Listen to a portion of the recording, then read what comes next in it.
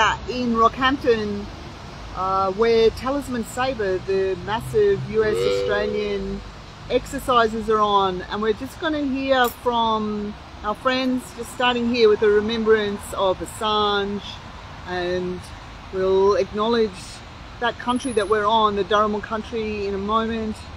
Just heading back down here.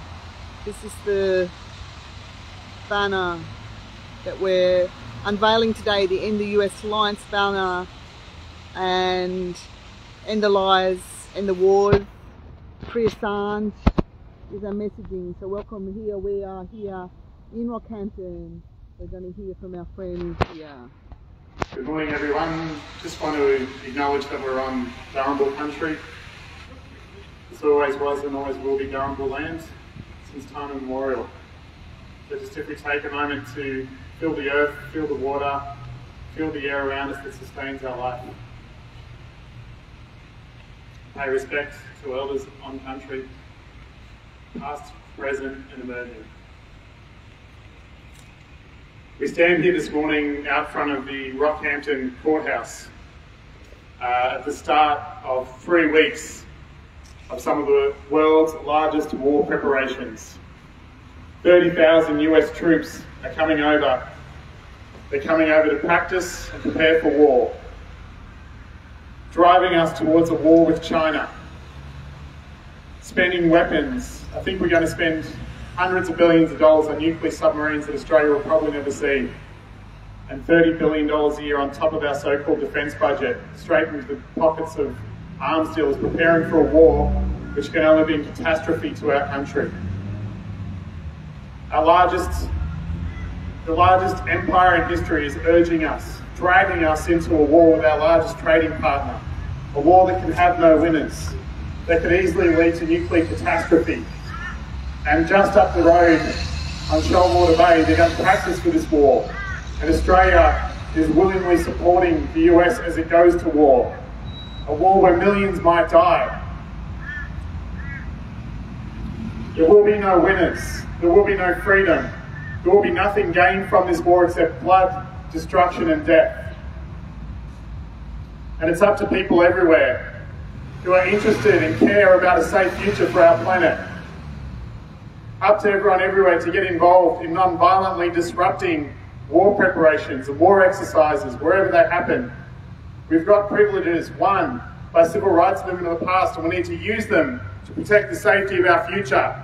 Because right now the safety of our future is at risk. Just so a few rich people at the top can keep making money.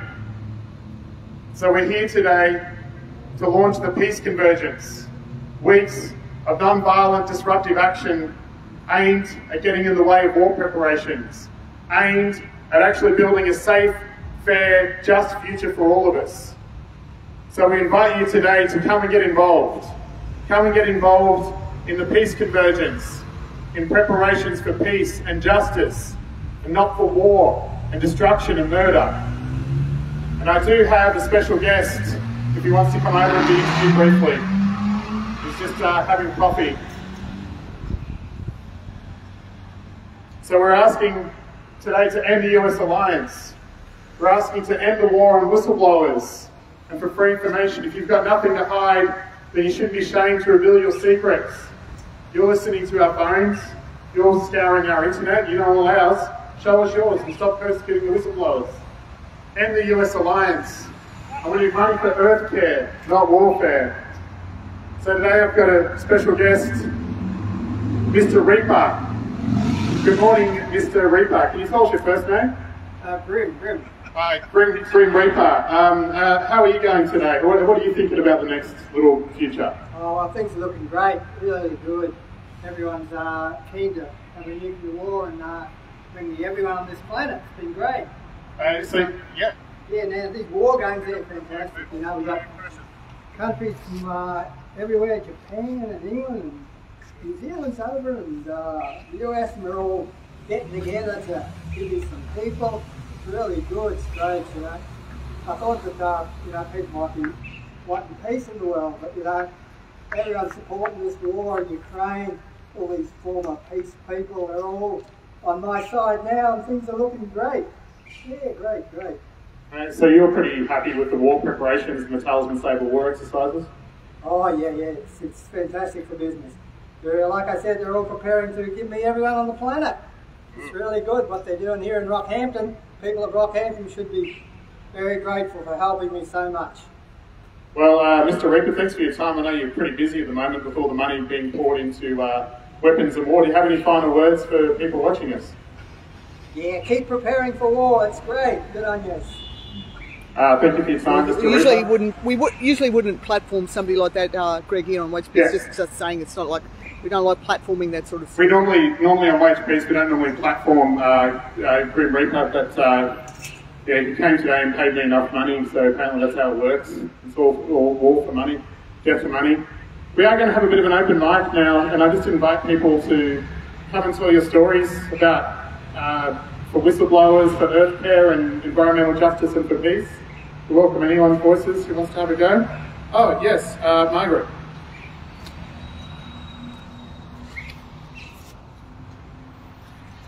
I'd like to, um, I'd just like to acknowledge the Jambo people who have uh, hosted us here before. Uh, we have, we've had Darumbal friends, but they've passed on, and I just want to remember them and remember the kindness that they showed us in previous years. Um, and we know that their people are still here with us, and Darumbal people have been strong advocates of peace and strong uh, opposers of the colonisation of this country. Um, and a lot of Darumbal people have been moved to Brisbane all those years ago, and we know that from there they built strong families and strong uh, resistance to the colonisation. So, you know, we know that that colonisation was built on militarisation, and we still see that in these exercises where they basically take over that land, practice militarising, practice invading that land, and then they're really doing that because they're looking at doing this across the Pacific. They're already doing it in Hawaii, Guam, Okinawa, the Marshall Islands. And the people across that area have been opposing that militarisation of Indigenous lands for a long time. And I, I just want to recognise that, you know, that we know that Indigenous, Indigenous people are calling us, calling us to pay attention to the earth and the planet, and they know, um, and they're telling us that our um, very being in existence is tied to the planet's being in existence. And if you just a shout out because this Friday night you can meet uh, activists from across the Pacific in Brisbane um, at the fire, the Sacred Fire there at Musgrave Park, and then at a conference on Saturday. So just a shout out to all those activists who are coming in from the Pacific. There's a, a set from Guam, Okinawa, um, and they're all linked up also with people in Hawaii and um, other Pacific, you know, countries in New Zealand and across, uh, you know, the, the, that that network. So just a shout out and recognition of that resistance that has been a long and continued resistance, um, and a strong and loving resistance. Um, but I also am interested, you know, as somebody from Wage Peace, I'm interested in this idea of, um, you know, ending the, the, the, the alliance. And one of the things that we, we, of course, we know about the alliance is that um, what we know about the alliance is that it is caught up with US commerce.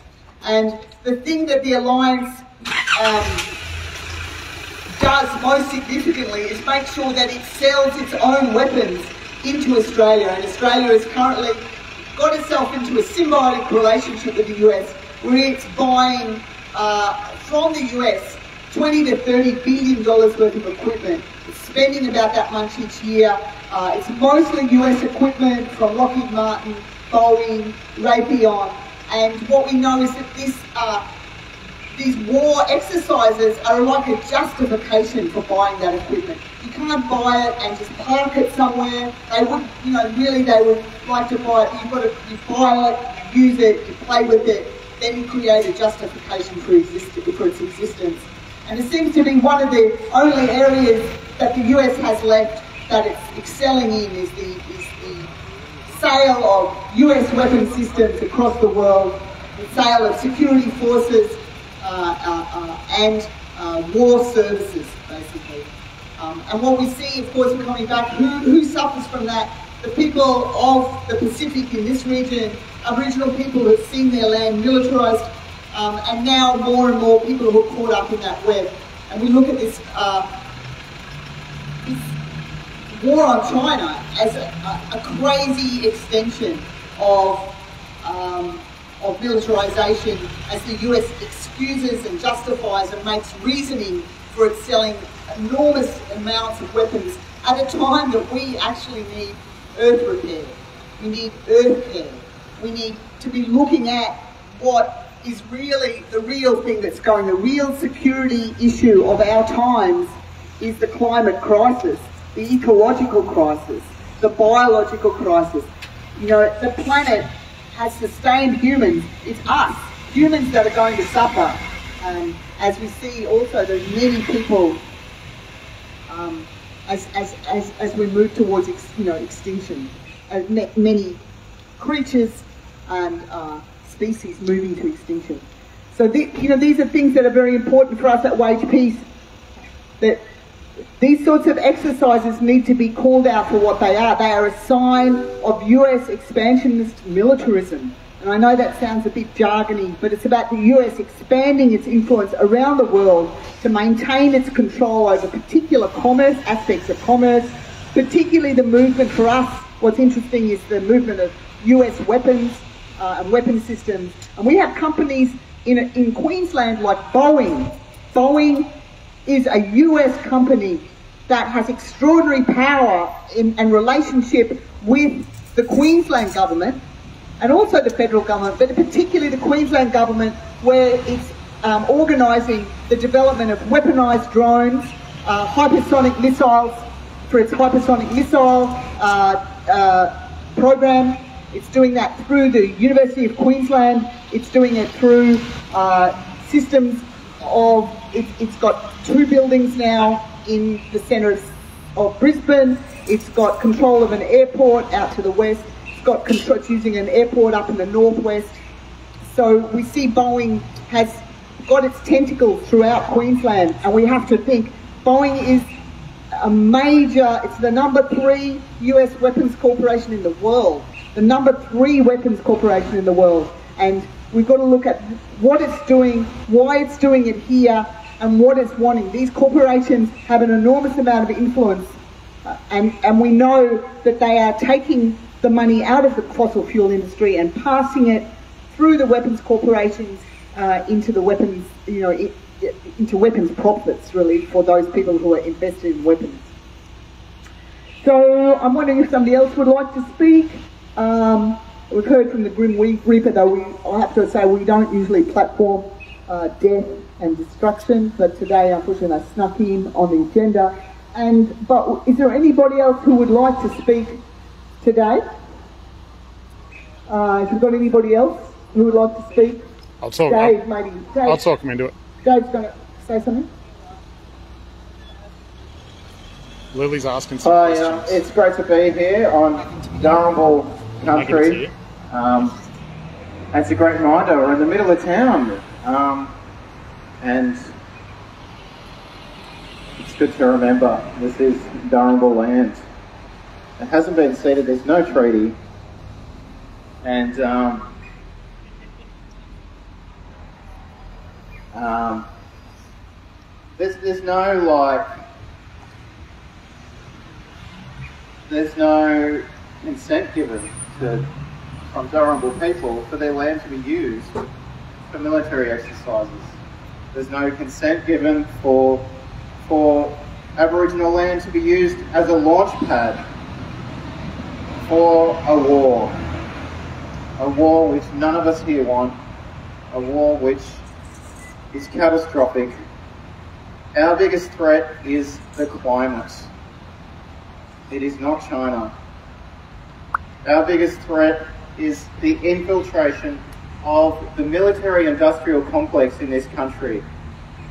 There are thousands and thousands of people who are working for conflict, who are working for wars, who are telling us in the media every day how dangerous China is, how they're building up their military, and they're grooming us like a pedophile grooms a child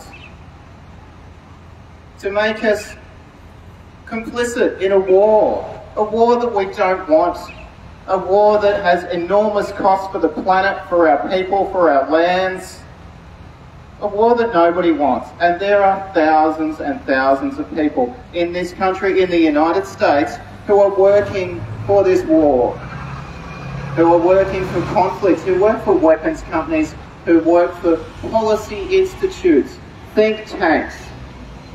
There's revolving doors, there's politicians, there's senior political advisors who are working for war, for conflict, for weapons companies. And they put so much work into this every year, every day. They get paid big dollars, tax dollars, to tell us to go to war. Every single day.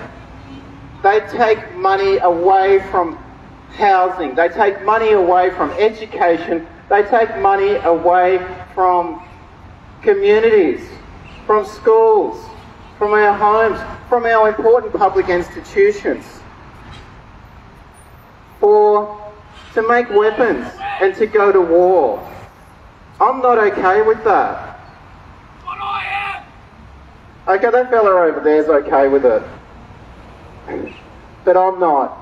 And everyone here is not okay with that. And there's, there's an example of someone who has been subjected to a lot of media and a lot of messaging that tell him that war is acceptable. And I'm here to say it's not acceptable. And I'm here to say that we are small in number, but we will continue to oppose war because we know it's wrong. And we are outnumbered, vastly outnumbered. We are so few, and there is so many that are paid big dollars to fight for war. So, you need to think about that when you're subjected to all this messaging about war daily on a daily basis. It's all out there every day.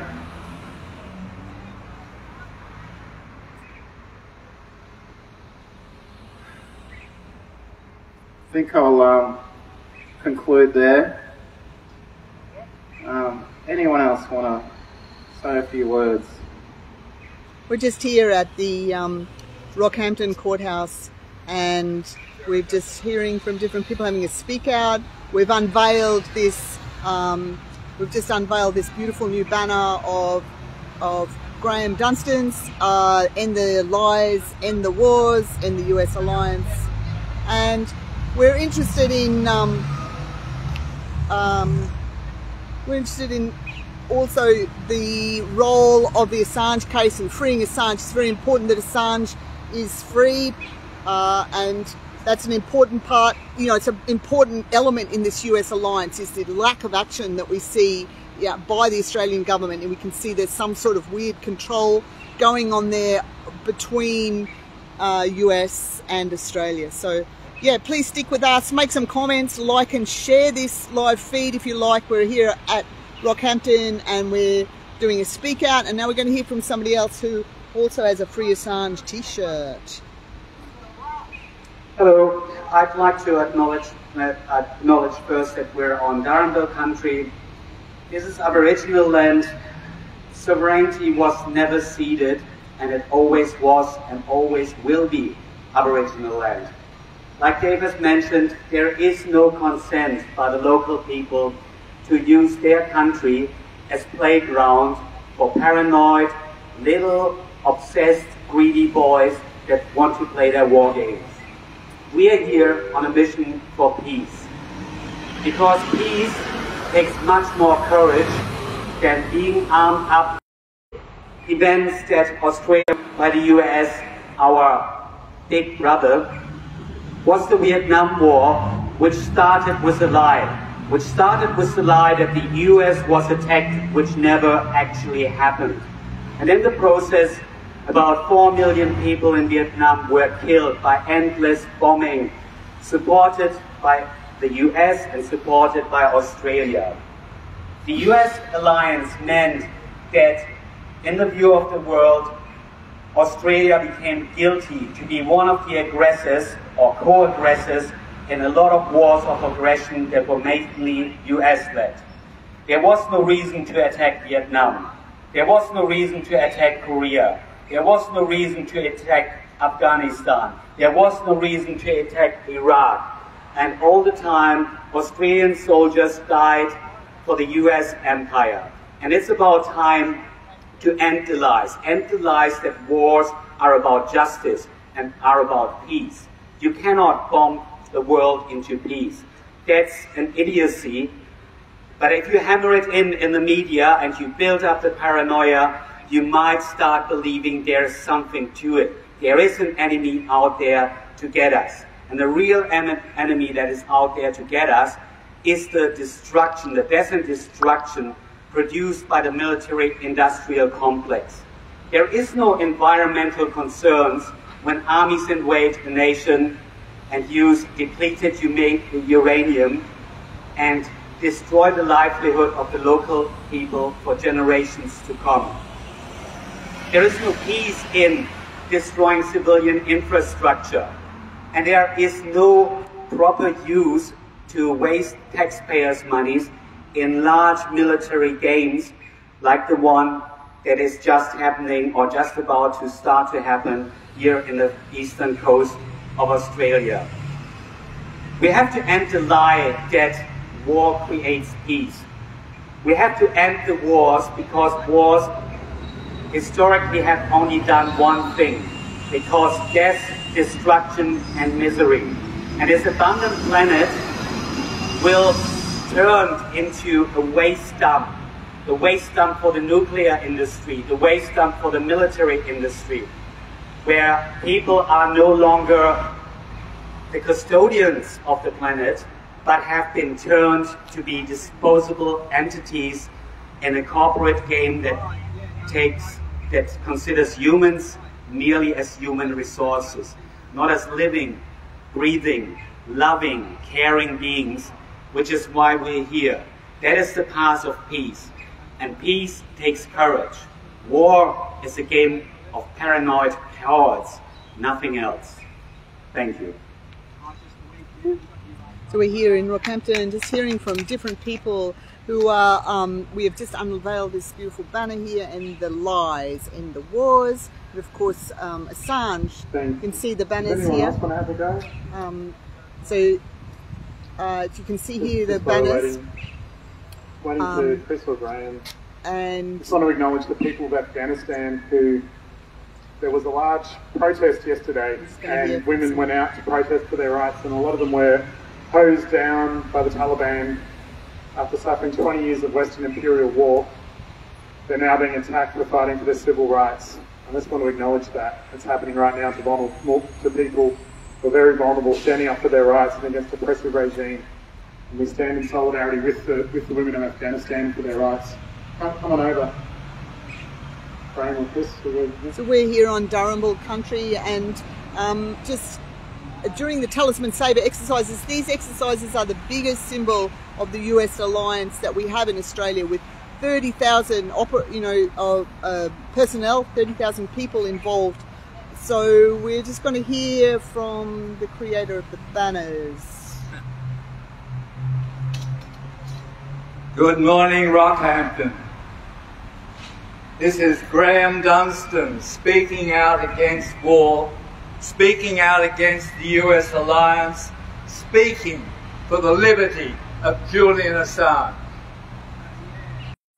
Julian Assange, a local boy in a sense, he went to high school in Cairns. His first university was CQ, right? He grew up here. He knows this city. Let's remember him four years now in solitary confinement. Let me say it again. Four years in solitary confinement for telling the truth about US war crimes. We've got a um, 18 hours a day. An event here on Yeppoon with John Shipton, Assange Locked up in a maximum security jail in London on remand. No charges have been laid. He has committed no crime apart from revealing US crimes. Let's recognise his heroism. Let's recognise that of all the journalists in Australia, he stands head and shoulders above them all. There is no one that comes in his league. Certainly not in Rockhampton. What's going on in the ABC these days? Why has it become so quiet and compliant with US wars, promoting them, feeling this is okay, never questioning the official line. These are not journalists, they are cowards. Do you hear me, Fraser Pierce? We expected more from you. You have not delivered on Julian Assange. You have not delivered the truth about US war crimes that are happening in, with our troops. What's to say of Julian? That he subsists. That we should remember him every day if we want to remember a hero. Of all of them, the biggest change has come from those WikiLeaks. I spent some time in Canberra. You'll be aware that the Australian War Memorial went through a reno, a renovation, $500 million. And what was the cause for that expenditure? Because they wanted to tell the story of the modern wars, the modern US wars, Afghanistan, Iraq, and the Middle East generally.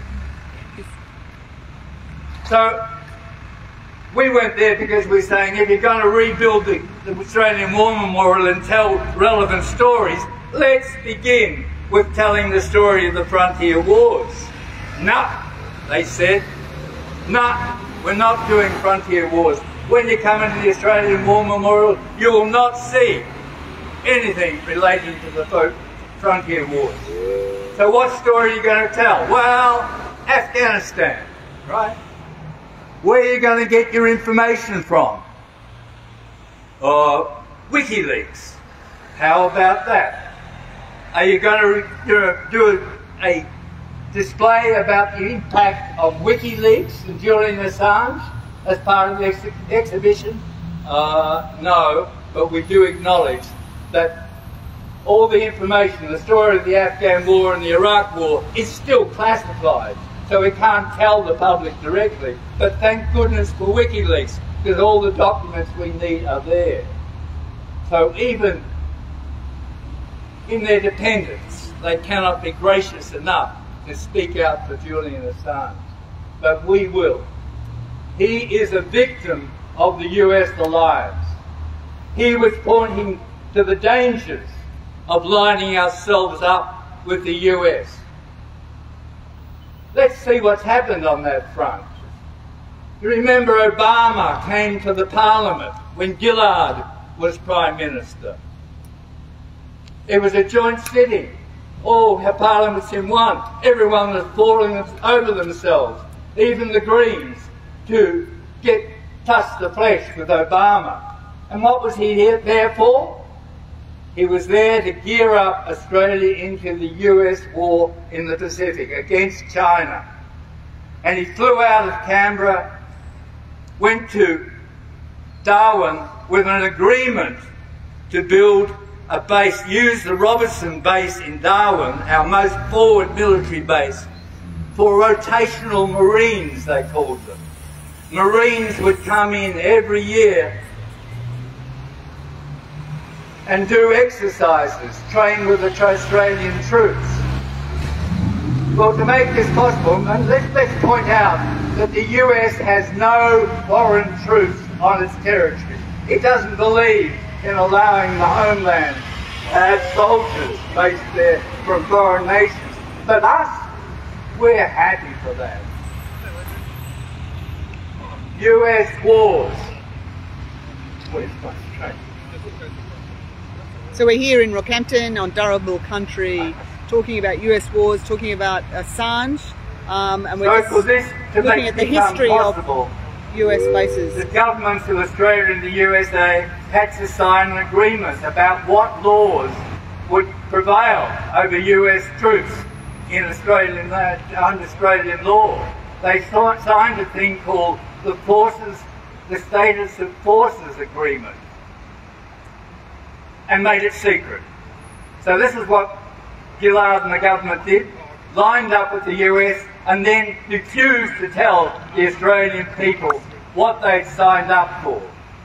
Well, what they signed up for has been revealed thanks to leaks.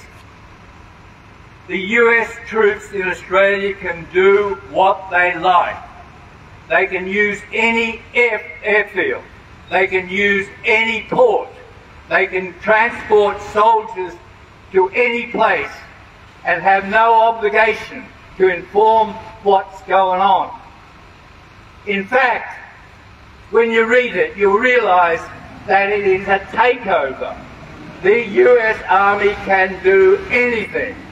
They are immune from laws. For example, if there's a rape, US bases are notorious for producing soldiers who are a bit crazy and rapists. What happens when there's a rape by a US soldier in Australian soil? So, soil?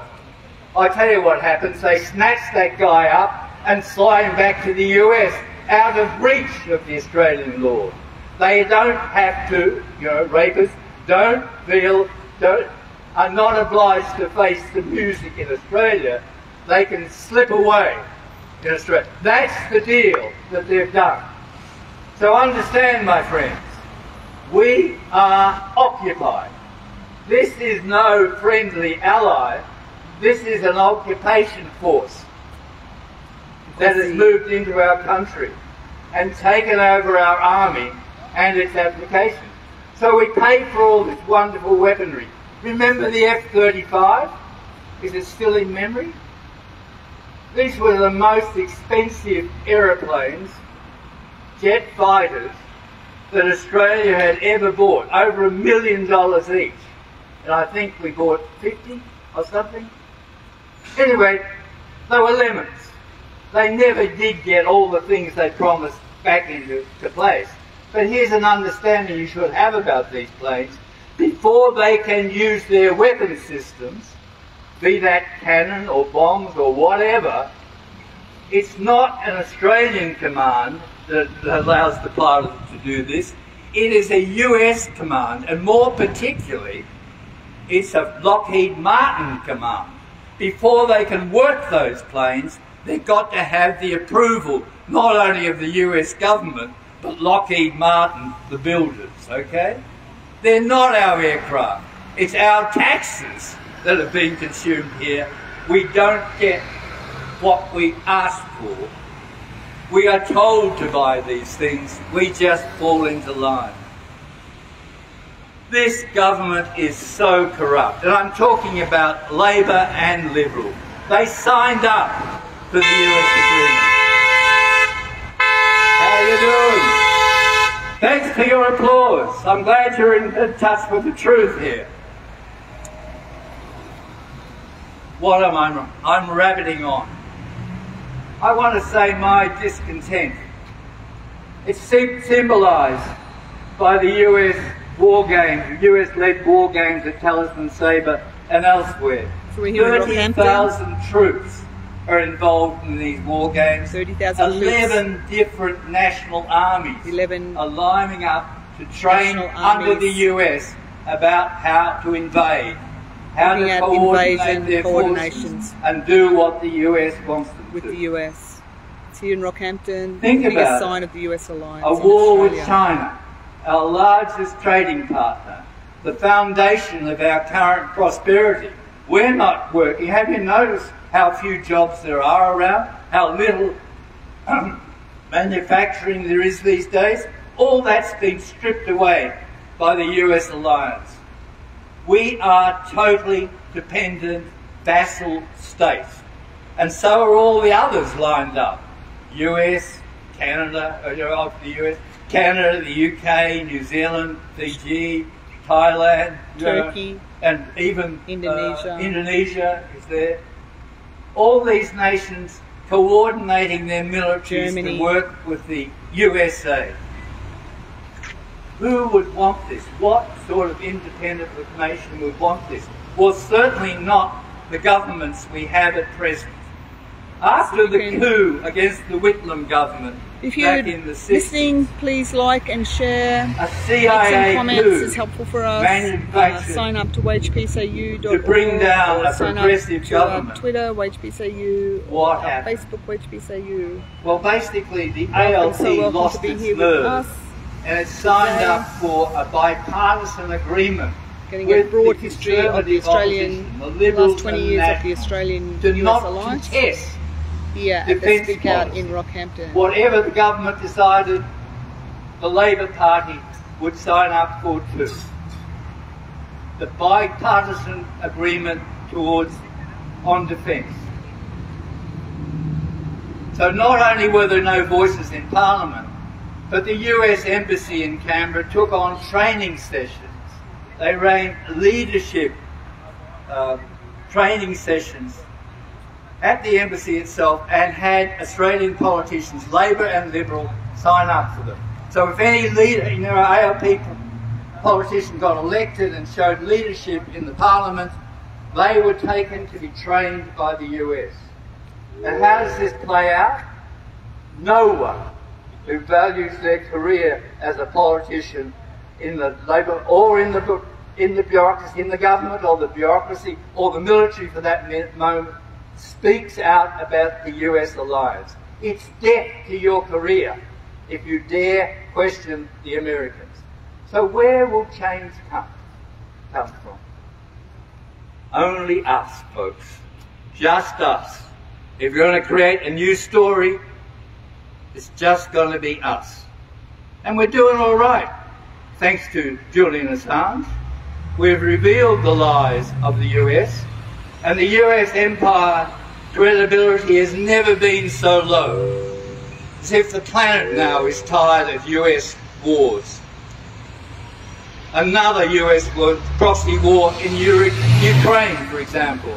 No one that I know actually believes there's any future in this for the Ukraine. It's just a deal that the US has struck to create trouble for Russia and its existence on the planet.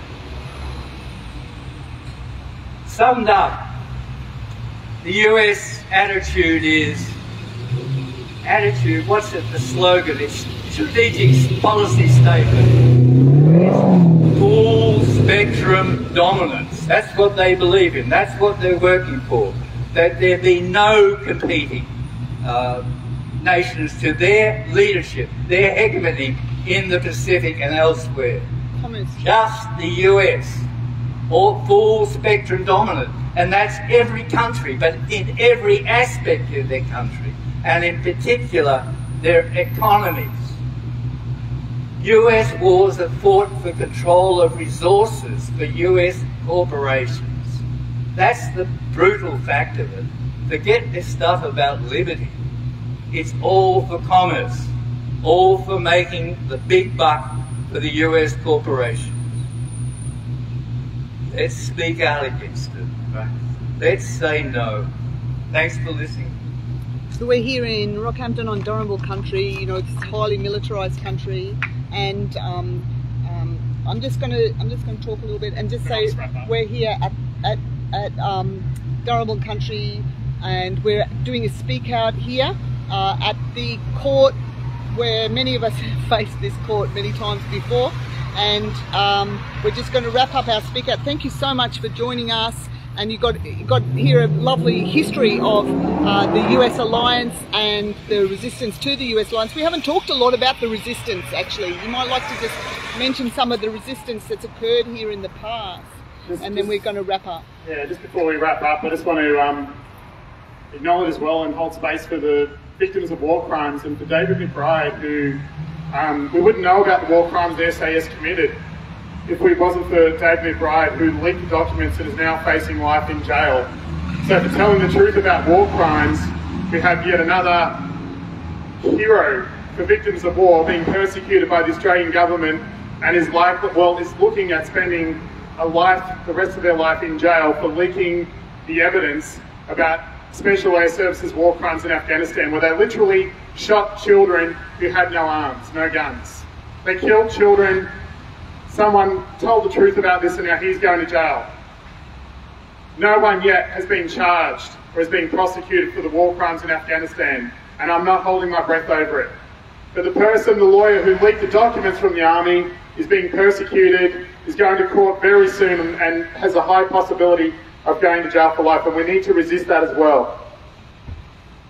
And speaking of resistance, I just want to acknowledge the people who've come before all over this continent, but especially on Darumbal country, the Darumbal people who resisted colonisation for the longest time. This machine that came in and killed indiscriminately to steal resources from First Nations people using the labour of poor white people was resisted by the Darumbal people first. And then since 2005, we've had people come from all over the continent to resist these very large war exercises. It would not be possible for the US to wage their endless murder, their endless wars, if they did not have these war exercises and war preparations. And people have been coming up here since 2005 resisting. We had Bryan Law, in 2013 do a plowshare action just across the road here or a kilometre up the road where he used a mattock with the help of Graham Dunstan and physically destroyed a weapon of war, a large Tiger helicopter, to live out the Bible prophecy of turning weapons into plowshares. And that kind of physical courage to resist war and the death and destruction of creation in our home is the kind of courage we need to cultivate and replicate as we move forward, resisting war, resisting ecocide, resisting death, destruction and murder of our home. So thank you to Bryan, thank you to everyone who's come up and resisted the war games, everyone who's engaged in non-violent resistance put your body on the line. It's not easy to face these magistrate systems, especially when you're standing up against war crimes, against the murder of children in their homes in Afghanistan and other places in the world, and against the death and destruction of our home. We are in the middle of a climate crisis, and these wars are the cause of it. So if we don't resist it, there is no future for our children. Jump in, jump in now and resist with us. Thanks everyone for coming. I'll see you all as we resist our own death and destruction on the front lines of non-violent resistance against the state. Thank you everyone. Join us at Peace follow us on Twitter, Insta, Dis Disrupt Wars, uh, follow our network and uh, like and share as much as you can. Thanks for joining us for this um, great speak out with the history of um, the resistance to the US alliance and the history of the creation of this, uh, the, this modern period of US alliance. Thank you so much.